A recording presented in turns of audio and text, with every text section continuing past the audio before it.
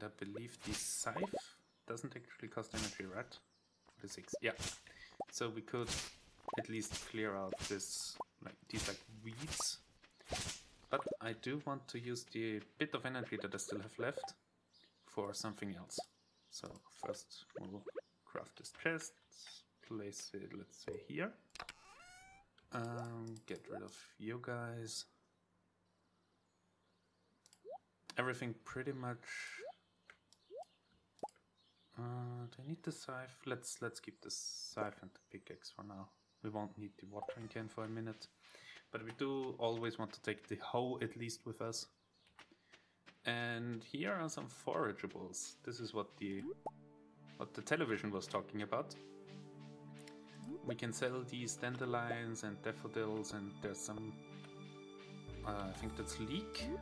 Yeah, we can sell those or we can keep them for the community center. I don't know yet if we'll need them. That's the interesting thing with the remixed community center. But first things first, I do want to look at the bulletin board. Right click, gotta remember. So here we have a view of spring. We can see that Mayor Lewis has his birthday on Sunday the 7th. Um, and presents on birthdays are like eight times the value, so we want to give them something on that day. Uh, there's the Egg Festival at the 13th, and the Flower Dance at the 24th, and that's quite nice. And here's Gus. Well, hello there, I'm Gus, chef and owner of the Star Drop Saloon. Yeah, he's the bartender here. Welcome, this is Pierre's. this is the the normal store where you can buy seeds and stuff. Oh, that's right, I heard someone new was moving up to the old farm. It's Abigail. It's kind of a shame, really. I always enjoyed exploring those overgrown fields by myself. And she's the daughter of the... well, she's, uh, as far as we know, the daughter of the store owner and his wife. Um, we're not sure about the store owner part. Oh, Mayor Lewis told me you just arrived. I'm Marnie and she sells uh, farm animals.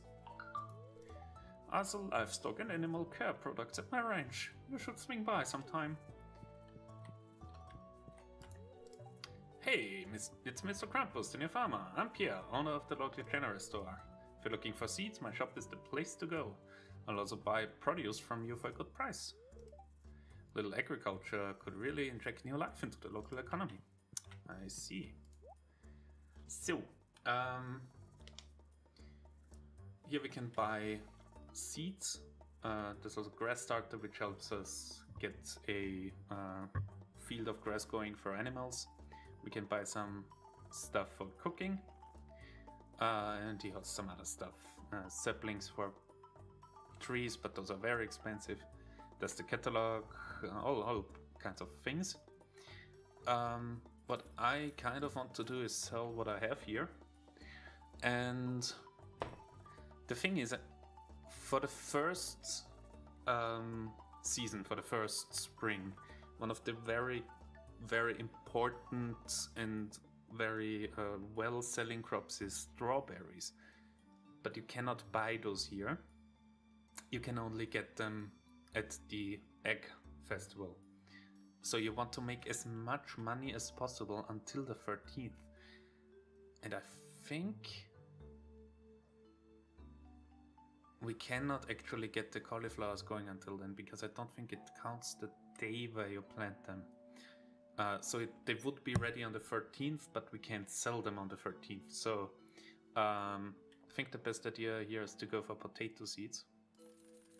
And yeah, let's let's get 13. Um, might need to get something for energy to be able to plant those, but there's still some forageables around here.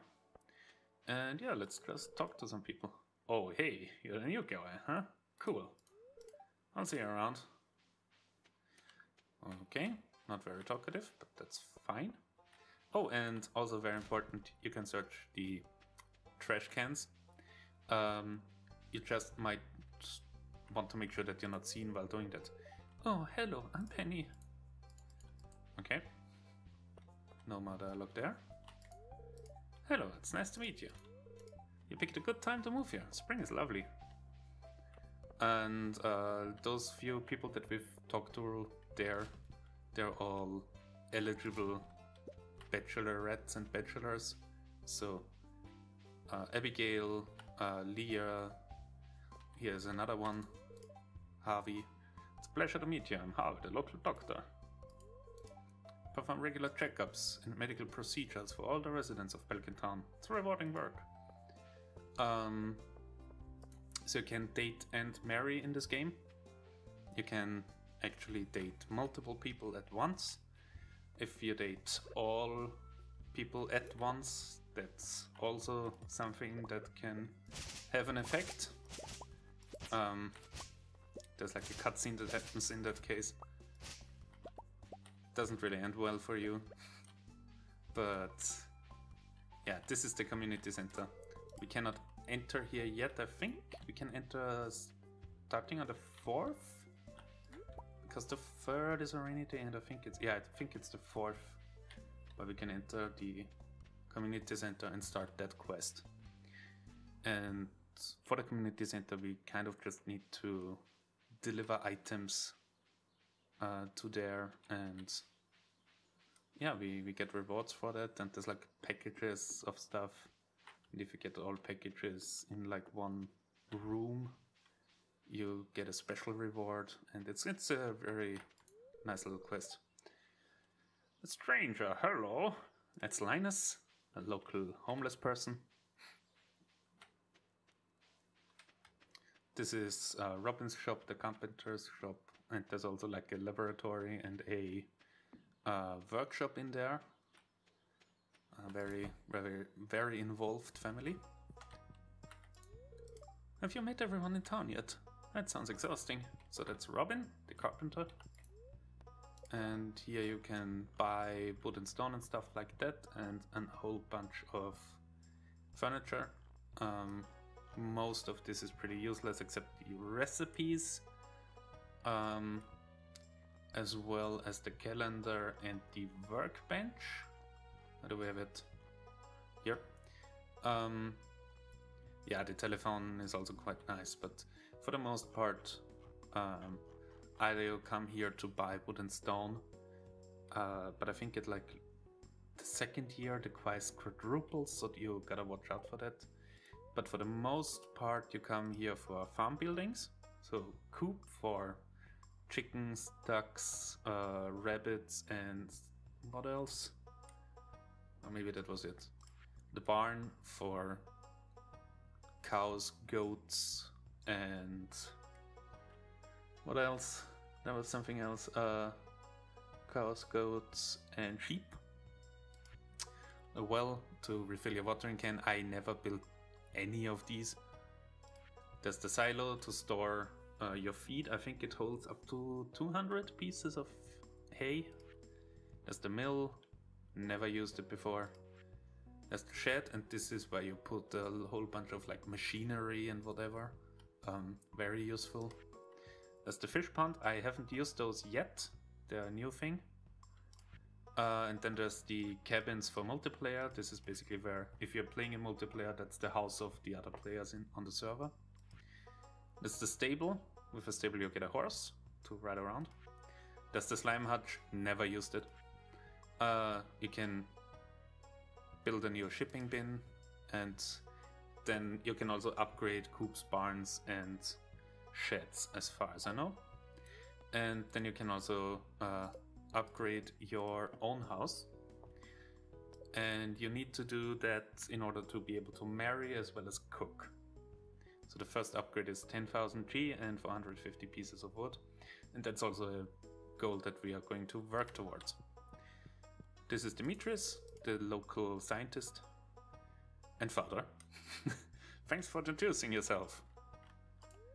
I'm studying the local plants and animals from my home laboratory. Have you met my daughter Maru? She's interested to meet you. Alright. Interesting.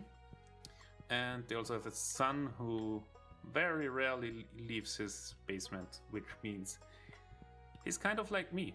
I mean, I don't live in a basement, but I also leave that the area where I live in not that often. Okay, can we get something for energy to be able to plant those potatoes? That would be nice. Because daffodils don't give any energy. Um, we could go to the forest south of our farm. And usually we should be able to find some stuff there. Um, I won't try to talk to everyone in town on my first day. It's probably not gonna happen, but maybe in the evening we can go to the saloon. And usually there's some people in the saloon, but not a lot. Ah yeah, there's also mixed seeds. Those you can find by uh, basically cleaning up your farm and they contain pretty much an assorted array of plants from the current season. So it's kind of random what's going to grow from them. So let's have a look if we can't find something with energy. I want to get a very good start for this game. Because the more you get done on your first day, the more you can do in your second day and so on. But, uh, hmm, actually, let me think, because there is like a mechanic where if you have a lot of crops, you can spawn crows which will eat some of them. So it might not actually be a very good idea to plant all of the potatoes right now un until we can make a scarecrow. Ah, we're gonna be fine. If we lose a crop or two, it's better to grow some of them than to grow none of them, right? So the wild horseradish that we just got, that's going to give us energy. Dandelions give us energy. And in this area in spring, some wild onions also tend to grow. But I think that happens later in the season. We should get back to our farm now because we're kind of running out of time. So let's eat the wild horseradish. Well as the dandelion. And those give us actually quite a good boost of energy here.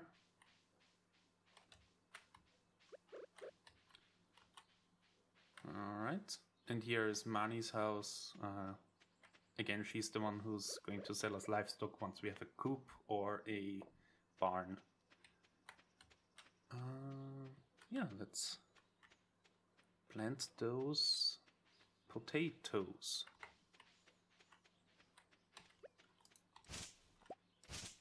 No, we're not going to boil them, mash them, or stick them in a stew. We're actually just going to sell them. Two, three, four. Actually, that was one too much.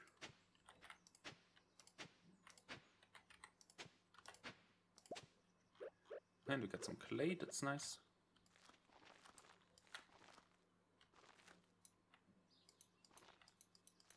Actually, how much energy do I have left?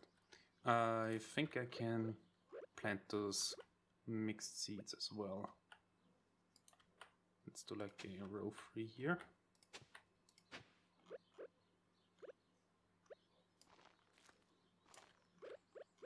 Yeah, no idea what we just planted. We'll see when it happens.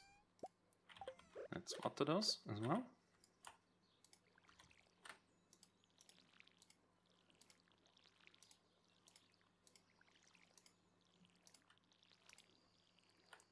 So yeah, I'm definitely looking forward to having sprink uh, sprinklers soon.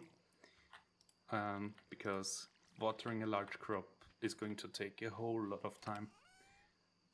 And I'm actually going to... I'm gonna sell those dandelions because they're not that rare. And I want to sell something on my first day. Just get some money.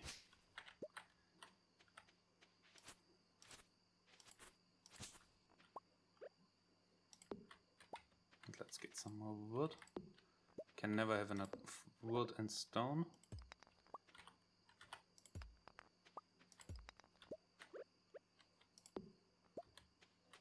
Yeah, and let's uh, let's visit the saloon. What was that? I saw something move. What was that like a bat or something or an owl? Those can happen from time to time.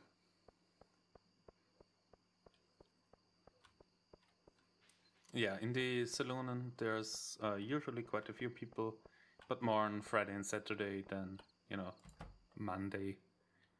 So this is Clint, he's the blacksmith. Uh, hi, I'm Clint. I'm the town blacksmith. If you ever need to upgrade your tools, I'm your guy. I don't know you. Why are you talking to me? That's Shane. He's the town drunk, male drunkard. And this is Pam, the town female drunkard. Hey kid, name's Pam. Nothing like a silver girl stuff for one of these old bones. We already met Gus. Good evening. Can I get you anything? And this is Emily. Oh, I can read it in your face. You're going to love it here in Pelican Town. If you're ever looking for something to do in this evening, stop by the saloon. That's where I work. I mean, kind of already here, okay? Um, yeah, that's a few more people there. 16 out of 28. I think that's not half bad. Who are we still missing? So we are still missing. Yeah, those two. They're a married couple. We can just visit them at home tomorrow. That's one of the girls. That's like the wife of someone. Um, I think those are her two kids. That's Caroline, the uh, wife of Pierre, and a whole bunch of uh, bachelors and bachelorettes. That's Maru, the daughter of Demetrius and Robin. That's the wizard. I don't think he counts. Uh, that's the. Is, is she the daughter of Marnie or is she like just living with her? Something like that. And that's Willy. We're going to meet him tomorrow to get our fishing rod because fishing is also a big part of this game. And you cannot actually meet him on the 1st of spring. You have to meet him on the 2nd of spring and um, because he's still on a fishing trip. So let's um, maybe cut a bit more grass before we go to bed. But we should try to get to bed early because at I think it's midnight you start to take basically energy damage for the next day. And at 2 you just collapse and then you start with way less energy than you had before.